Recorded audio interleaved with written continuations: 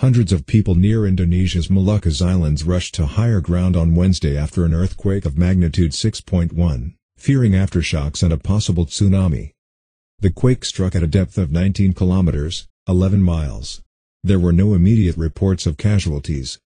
Indonesia's Meteorology and Geophysics Agency, BMKG, urged people in a text message to move away from beaches and seek higher ground, noting that the warning applied especially to Seram Island. BMKG had initially said a tsunami triggered by the movement of tectonic plates was unlikely, but then said one could still be triggered by underwater landslides, of which there would be no warning. If the tsunami is caused by an underwater landslide, it cannot be detected from the current early warning system, the head of BMKG, Dwikorita told a news conference. She said residents should move to higher ground immediately if they felt aftershocks, and not wait for an official alert.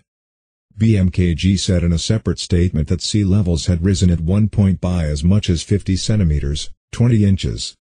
It said 13 aftershocks had been recorded so far. A local civil emergency official said there were no reports of injured people or casualties so far, but some buildings and public facilities had sustained damage.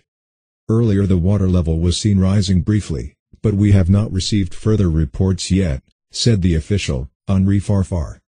Hundreds of residents ran up hills fearing a tsunami, but then returned home, according to an official with the Central Maluku Regency Disaster Agency. Many houses are damaged here, said Asmiathi, a 20-year-old teacher in the area who goes by only one name. It's dark already and everyone here in this village is evacuating to the mountain because we still keep feeling the aftershocks.